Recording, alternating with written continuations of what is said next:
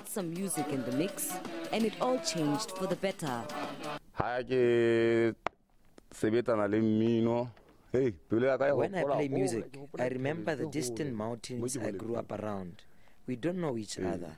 We met here at work, but realized that we ha re le spoke the same language and could work together. mmerekong. mme ra utlwa gore puo ya rona e one re ka kgona ho sebetsa kaofela When evening closes in, melodies fill the night air, bringing home to those here memories of the Maluti Mountains. The music tells their stories from their early days in the land of birth to their current struggles and successes.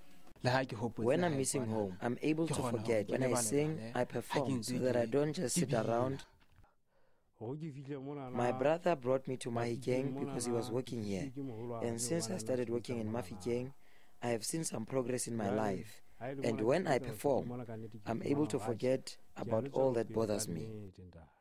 The group is hoping to one day record an album with the help of a good Samaritan. Sentle Englihihi, SABC News, Masutlhe.